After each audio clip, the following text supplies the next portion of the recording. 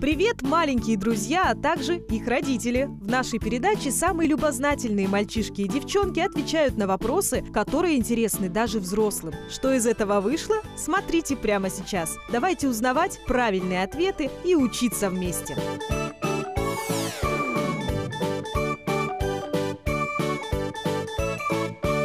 Зачем комар пьет кровь? Ну, он э, кровью питается. Чтобы, чтобы он мог да- дальше жить, чтобы у него была жизнь впереди. Он этим питается. Потому что у него нос длинный и в конце острый. Ну, чем-то же ему надо питаться. Потому что они хотят выжить. Ну, чтобы питаться. Ну, потому что они этим питаются. Ну, потому что комар – это его еда. Комар – это же как бы вампир. И он пьет кровь из людей. Ну, например, у лю- люди питаются тем, тем им по- положено. Наверное, комары такими родились, и им надо было именно кровь пить. А то, если они что-то другое съедят или выпьют, то они могут умереть. Я так думаю, что, что он злой и назойливый. Потому что, наверное, именно потому что им нравится кровь. На вкус, наверное. Наверное, любить ки- кисленькое, как кровь. Такое. Ну, это типа ему воды. Комарики кушают. Как- Когда-то у нас было большое дерево, мы окно закрывали, а нас с мамой кушали. Мы не знали, но мама одного комара задавила. Ну, у нас такие вот лавки получаются. И когда кофе уходит, она козу-то держит, чтобы она ровная была. А потом коза надувается и у нас чешется. Из-за крови, если комар пьет, пьет много крови, то он толстеет. Поэтому мальчик. Когда, например, я сплю, он так противно жужжит и ну, пищит. Он мне всегда ночью летом спать мешает. Это для них еда. Мальчики, ну, они такие, они такие чуть-чуть грозные, как не, не как девочки. По- вот они и пьют кровь. Это, это его еда. Комариха. Комары, мальчики. Я думаю, что мальчики. Потому что девочки не могут работать за них. Девочки могут отдыхать, а мальчики должны всю работу делать. Но иногда девочки помогают. Он ночью кусается, а потом днем мы тешимся. Ей надо как-то питаться, чтобы питать своих детей. Кушают людей и выпивают кровь, но не всю. Мальчики тоже живые, но они не могут.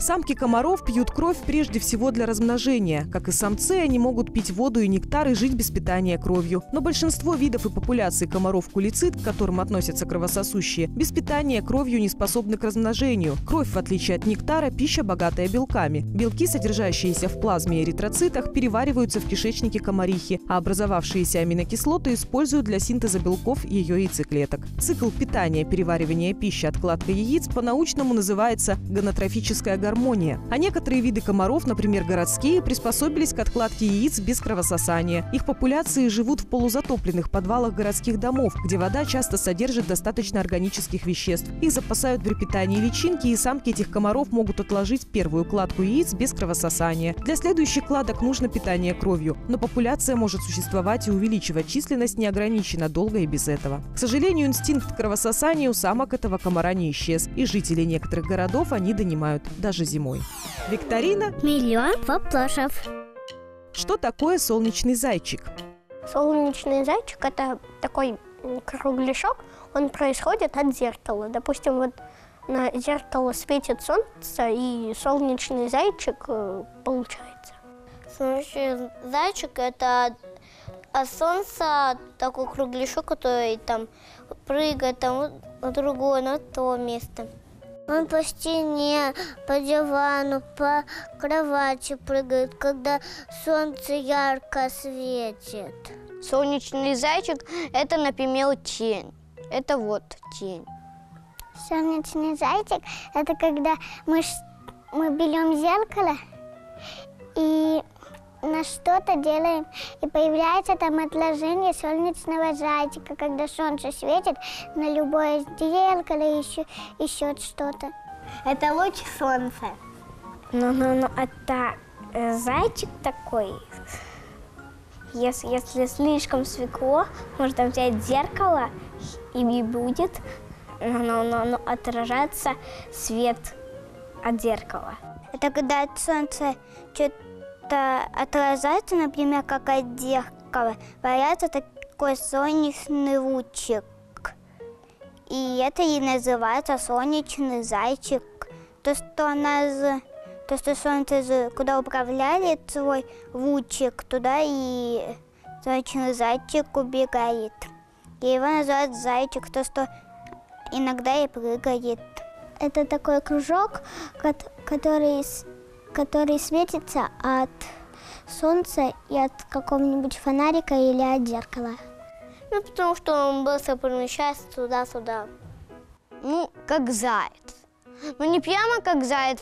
Из пальцев можно так делать как-нибудь зайца. Ну и вот, получается. Потому что, когда я играла, когда мне было 4 лет, я им играла дома. Ну, чтобы у нас не осталось тени у него.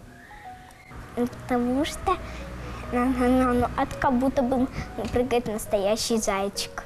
Потому что как бы им люди ну, не дают настоящих игрушек и чаще всего котов приучают к солнечным зайчикам. Им кажется, что это, му, например, такая муха-то, например. Хочется с ней так поиграть. Ну, берется, если ночь, когда, и потом включаешь фонарик и видишь там тень. Кошечки думают, что это что-то вкусное, и поэтому охотятся, учатся.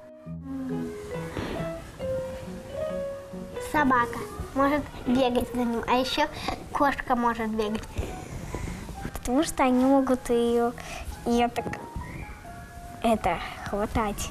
Когда солнце светит, его лучи летят прямо рядом друг с другом и вместе падают на землю. Но есть предметы, которые могут отражать свет. Лучик света, который упал прямо на зеркало, отрывается от своих собратьев лучей, которые на зеркало не попали, и улетает в бок в одиночестве. Солнечный зайчик – это и есть кусочек солнечного света, такой луч, который пошел по другому пути, не так, как все.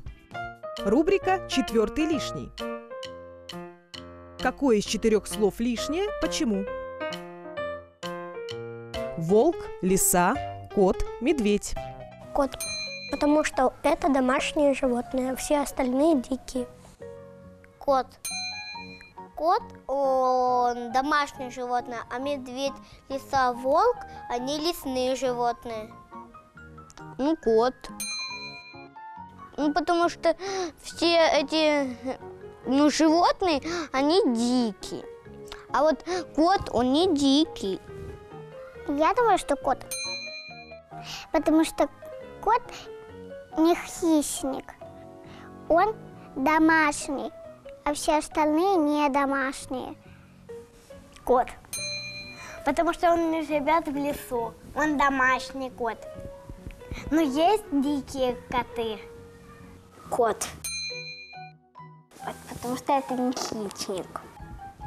Кот может жить в доме, поэтому он лесный. Кот.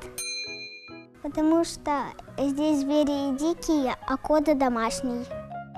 Редакция программы выражает особую благодарность руководству детского сада номер 26 и его директору Ольге Владимировне Крамер.